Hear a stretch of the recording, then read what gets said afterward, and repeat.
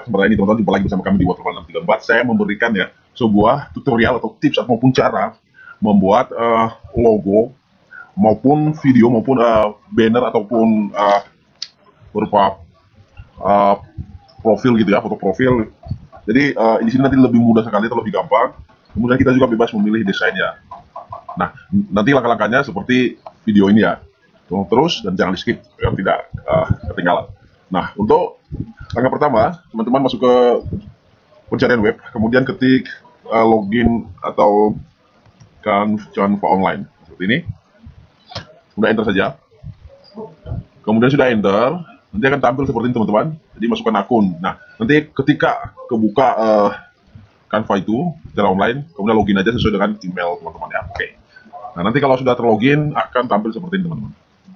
Nah, di dalam membuat uh, sebuah desain, dalam uh, Canva ini kita diberikan dua opsi ya. Jadi satu yang uh, berbayar, kemudian satu yang nggak berbayar. Yang tentunya kalau memakai yang berbayar akan uh, desainnya lebih keren ya, atau memiliki bermacam-macam desain, sehingga kita bebas memilih.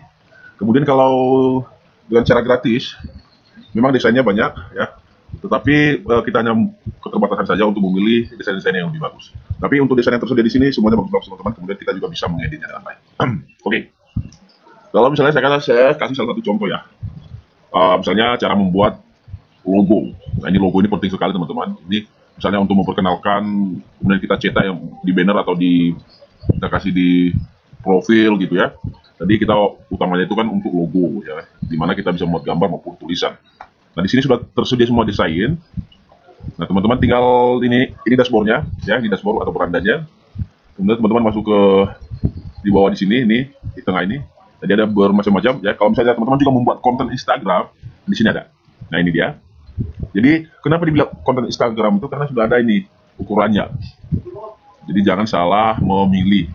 Nah, ini ada video. Jadi video ini di kalau ukuran 19 ini coba dilihat ya 1920 kali 1080 itu itu biasanya untuk video-video di YouTube. Nah, oke okay, nanti saja itu kita bahas. Sekarang saya acara kita buat dulu untuk membuat logo. Nah, di sini sudah ada tanda logo, teman-teman tinggal klik saja seperti ini. Nah, akan tampil seperti ini teman-teman. Ya, ini ya.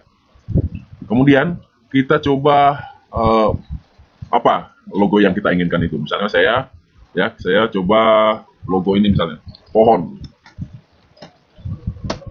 Oke. Nah, di sini teman-teman ini ada 1 2 3 4 5 6. Nah, intinya di sini ada bermacam-macam ya, ada 6 biji yang tersedia ya. Kemudian oh malas mau tak tukar lagi ya, misalnya ini kurang keren. Saya kasih uh, gambar kobra ya, kobra. Biar biar lebih seram coba. Nah, ini seperti yang saya katakan tadi bahwa ini yang premiumnya yang berarti kita harus mesti beli ya. Jadi artinya walaupun ini teman-teman ingin memakai, jadi ini harus berbayar nih. Ini bisa dipakai dengan percobaan selama 30 hari. Nanti setelah itu akan hilang. Ya. Oke, jadi ini saya sarankan kalau mau pakai, jadi paksain. Jadi kalau memang pengen sekali, silakan aja beli. Jadi nggak mahal juga. Oke, kita coba cari lagi. ya. Kita coba cari, saya mau nyari yang ini, logo Waifel atau sungai. Nah, ini, oke. Saya coba pilih yang ini. Nah, ini dia teman-teman. Ini logonya sudah jadi ya, sudah jadi. Kemudian sekarang apa kerja kita? Di sinilah kita edit. Jadi jangan jangan ini langsung kita ambil ya, jangan. Nanti kita kena apa namanya hak cipta. Jadi kita mesti harus edit. Apa yang harus kita edit?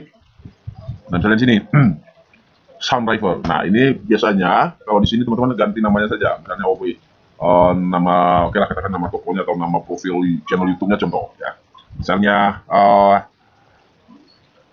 Mentari Mentari Pagi. Nah, ini adalah nama channel kita maupun nama toko kita contoh. Oke. Okay. Kita juga bisa ngebold ya. Di sini ada di atas ini. Atau kita juga bisa memilih huruf yang mana misalnya contoh. Oke. Okay. Nah, atau yang ini. Oke okay, ya. Kita misalkan membawa nanya. Coba. Nah, Ya. teman-teman kalau memilih-milih begini tinggal soninya saja ya. Oke. Terus kemudian ada di bawahnya lagi, teman-teman. Ini tinggal diedit saja. Apa misalnya? Uh, Oke, kata-kata lain misalnya yang menarik adalah berkualitas dan memuaskan. memuaskan. Oke. Berkualitas dan memuaskan. Ini contoh ya. Teman-teman nanti terserah ya kalau di rumah mau bikin seperti apa. Bebas. Oke, aku mau pilih yang ini. Oh, jelek. Mau pilih huruf yang ini, jelek juga. Yang ini coba. Oh, jelek. Coba lagi. Nah, di sini juga di hurufnya ini tersedia teman-teman semuanya uh, memang lengkap ya sebenarnya ya. Hanya saja ada yang berbayar dan ada juga yang enggak. Jadi uh, ini saya mau ubah warnanya menjadi warna merah. Oh jelek ya. Oke warna hitam saja. Nah oke. Okay. ini. Oke aku mau besarin. Nah oke. Okay. Oh kita posisikan di tengah. Nah setelah itu uh, di sini berarti kita tidak bisa menambah ya kata-kata lain selain yang tersedia di sini. Nah uh, maksudnya konsep yang telah tersedia di sini jadi kita nggak boleh ataupun nggak bisa menambah kata-kata lain. Bisa, bisa sih nanti, tapi dengan uh, cara membuat uh, ulang nanti setelah ini ya kita bahas. Nah ini kita uh, usahakan dulu yang sudah ada. Kemudian kita misalnya ubah logonya ini. Uh, gimana cara mengubahnya? Nah oke, okay. kita perbesar kan kalau kecil itu kan nggak bagus. Iya.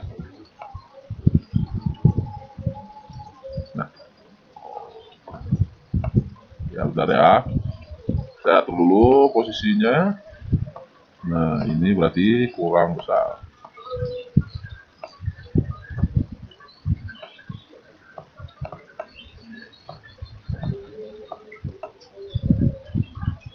ya.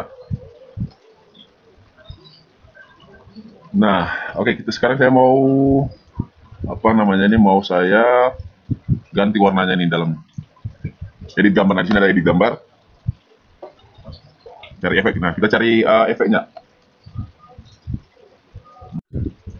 Oke kita mengedit gambar yaitu dengan cara nah di sini. Di sini sebenarnya sudah ada warna ya kemudian kita coba pilih ini ya edit gambar nah aku mau coba pakai hmm, ada di sini coba simulator visual Bisa apa enggak? Nah ini dia. Oh, nggak bagus ya. Oke oke oke oke oke. Uh, coba ini. Nah lumayan ya, lumayan bagus. Uh, balik. Oh nggak usah, ya ini sudah deal kemudian kita pilih oh ini kalau misalnya teman-teman mau uh, animasi ini kalau misalnya di setiap ini ada animasinya jadi seperti di PowerPoint tapi itulah nggak usah karena ini kan uh, logo nggak perlu ya oke okay. uh, oke okay.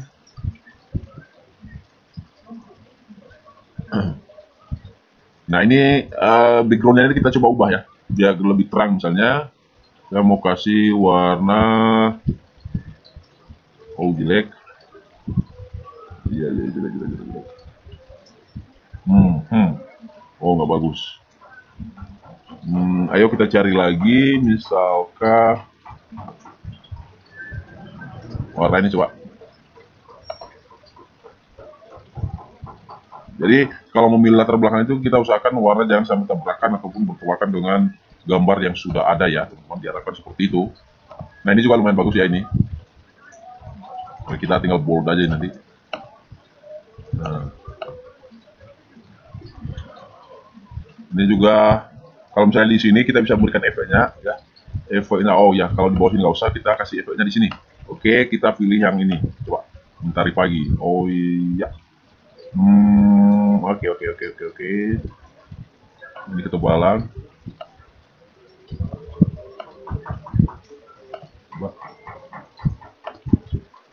Oh ya pas ini. Oke, ini hanya ini aja ya apa namanya tutorial saja sebagai contoh gitu ya. Teman-teman mempermudah untuk membuat desainnya ataupun uh, membuat desain profil ya, channel YouTube-nya gitu ya biar lebih keren.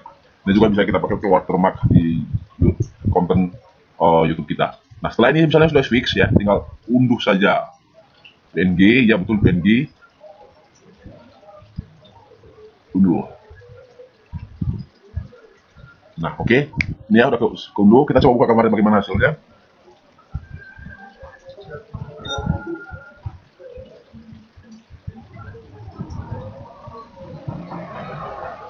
Ayo, gimana hasilnya? Saya juga penasaran. Nah, ini dia. Nah, artinya teman-teman, ini kalau misalnya uh, kita buat profil ataupun kita uh, buat menjadi banner gitu ya dengan menempel desain ini gitu ya, dan terus di bawahnya ini kita bikin kata-kata yang lain. Nah, itu sangat cocok sekali ya. Ini uh, sangat bermanfaat ya buat teman-teman yang belum belum mahir misalnya Photoshop atau uh, multimedia uh, editing. Nah, ini sangat penting sekali dan ini juga sangat simpel dan mempersingkat waktu. Oke teman-teman, sekian dulu untuk kanva ini nanti kita akan lanjut uh, di kemudian hari mungkin pembuatan video maupun slide ya. Nah, sampai di sini saja. Kalau ada komentar ataupun saran yang bagus silahkan isi di kolom komentar. Oke, sampai ketemu kembali. Sampai jumpa.